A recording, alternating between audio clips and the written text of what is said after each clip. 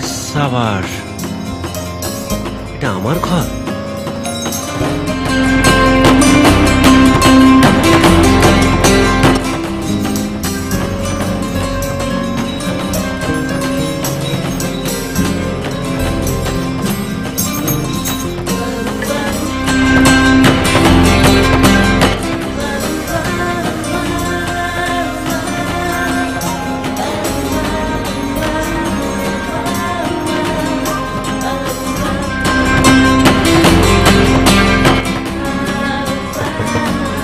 বাথরুমে কে?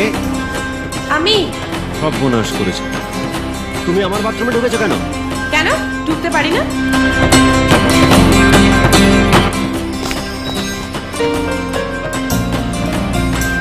ওরে সাবাস।